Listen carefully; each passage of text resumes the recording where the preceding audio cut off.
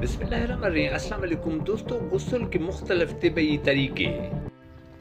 गसल के वक्त ज़्यादा ठंडी या बहुत ज़्यादा गर्म पानी का इस्तेमाल नहीं करना चाहिए। गसल के वक्त सबसे पहले दिमाग पर बहुत ठंडा या बहुत गर्म पानी नहीं डालना चाहिए। दिमाग जिस्म का सबसे ज़्यादा हसास और सारे जिस्म के दर्ज हरारत को कंट्रोल करने वाला हिस्सा है। इससे पहले जिस्म के बहुत से दूर वाले हिस्सों हाथ या पाँव को पानी डालते हैं जिससे इन अज़ा के ज़रिए दर्ज हरारत की इतला व दिमाग तक पहुँच जाती है और दिमाग सारे जिस्म को इस दर्ज हरारत की बर्दाश्त करने के काबिल बनने का पैगाम दे, देती है।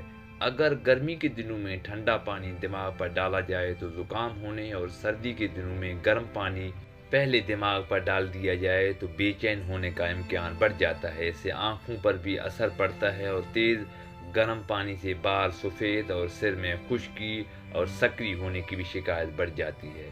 तो एहतियात में बहुत कुछ छुपा हुआ है। एहतियात करें छोटी छोटी गलतियाँ न करें। अल्लाह सबका भलाई करे, खैर बरकत में रखे। आमीन। सुम्मा आमीन या रब्बिल